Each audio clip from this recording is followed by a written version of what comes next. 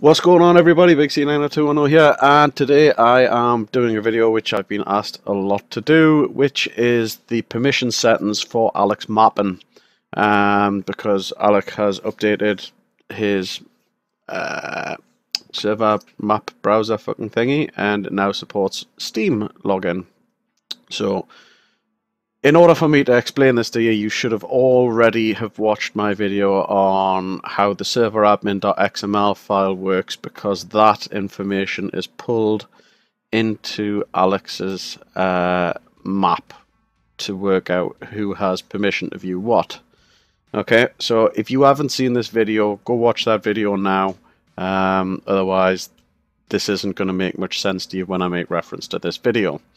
Okay, on the assumption that you've watched this video or you know how the serveradmin.xml file works, um, you will be quite familiar with the web mod, which looks like this. Okay, now, by default, you will have a message saying some shit along the lines of, uh, oh, you haven't logged in, you have to sign in through Steam and then you will be able to see the map. And sure enough, when you sign in through Steam, you will be able to see the map. Um, but as an example, um, what if you want to show your map to everybody? What if you want, what if you don't want people to have to sign in um, in order to see it? So yeah, so as you can see, I'm currently not logged in. Oops, I'm currently not logged in, and I can see the map. So it allows me to embed my map into my awesome server page with blog. He has a plug. Come and check it out. Um, so if you scroll down, you can see here it is again. I'm not signed in, and anybody on the World Wide Web can see the server map without having to log in. They can also click on various things. Ooh, look at that. I'll show you how to do that on a different tutorial. Um, and they can zoom in and out. And if you notice, they can only see the basic stuff. They can't see things like where people are and stuff like that. Um, so heading back over here, if I do click sign in through Steam and I sign in, it'll take me back to the map and I can see stuff like uh, players who are offline, um, players who are online, all that extra stuff, but by default, people would not see that. Just signed out there, people can only see this. So, how do you do it? Well, um, let's just go back and explain how this works. Now, it's kind of like an all or nothing affair in the sense of once I've signed in, there is no way at the minute to just kind of like let your admins see all of this and then your super admins only see them and then your mods only see this. So we've got in the server admin, we've got zero, which is the highest permission level one, which is say the next one down, which you could have as admin, two as moderator, and you can make as many ACL. That's what each one of these is. It's like an, an access control list. Um, you can have as many of them as you want. 1000 is what the Fun Pimps use as a regular player. So anybody who is not being mentioned in the serveradmin.xml file has got a permission level of 1000. Now, uh, by default, Alloc's map is set to 1000, which is the reason why normally when you're not logged in, you would get the message across here. And then when people sign in, it'll go, hold on a second, yeah, you are signed in with Steam. So, so regular players or, or signed in with Steam. Obviously, this this part here just refers to the map.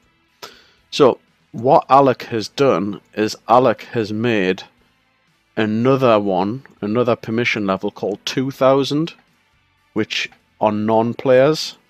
So because anybody in the world can go onto my website, check it out, and see this map without being signed into Steam, it's because we have set the map view permission to be 2000. So, uh, in order to do that, what we do is we fire up 7 days, we go to Big C90210's official PvP server, all welcome, we connect. Note, in order to do this on your server, you must be set as permission level 0, you must be the super admin um, on your server in your own server admin.xml. So, when you get on the server, you open up the console, and I can't even remember what the command is. right, give me one second.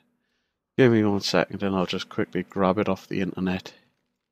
Because uh, mm, mm, I closed down the web page.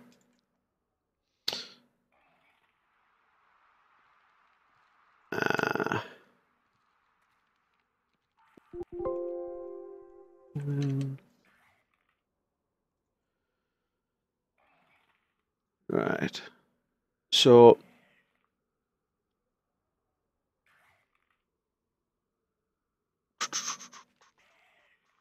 you would set it as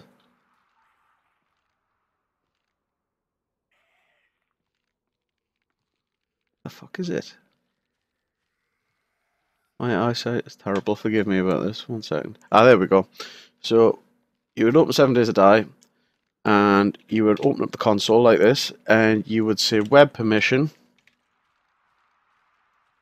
um, add so we're adding a new permission and then you've got web dot map and here is where you would set the number so as an example if I set it to zero then only super admins could see it okay I'm just gonna have a look over here if I set it to one then it means only admins and only super admins could see it. If I set it to 2, then it means uh, it would mean moderators, admins, and super admins can see it. If I set it to 1000, it means normal players who've signed in through Steam on the website, and moderators, admins, and super admins can see it. If I type in 2000,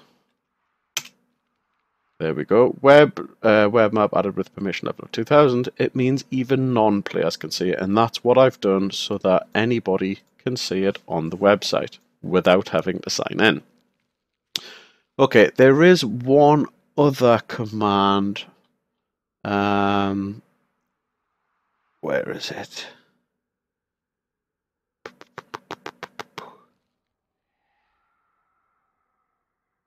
Which I can't remember what it is. But by default, it's basically, you know how I signed in through here? So when you sign in through Steam, actually I'll just do it on this one because it's quicker. Sign in through Steam, sign in. And then I've got my extra buttons. It is, it's just the same kind of thing. It's web permission, add, and then it's actually on Alloc's website. But whoever has a permission level of zero will automatically see the extra bits anyway. So all of your super admins, when they sign in, will, as long as they're set as zero in serveradmin.xml, will see this extra stuff. Okay, so I hope you understand that now. Um, Alloc does change this occasionally, so if this video seems to be out of date, go to his website, read, read it. He's, he, he puts it on his website. I can't make it any easier than that. Um, but yeah, that's how it works. I will show you in a short video how to add things like points of interest to the map, how to highlight certain areas, like putting squares over certain areas to say like, um, we're going to reset this area. This area is where, I don't know, the Haunted Mansion is or some bollocks like that. Anyway, I'm Big C90210 and I hope you like this video. Please like, comment, subscribe, tell your mom and I shall see you guys next time.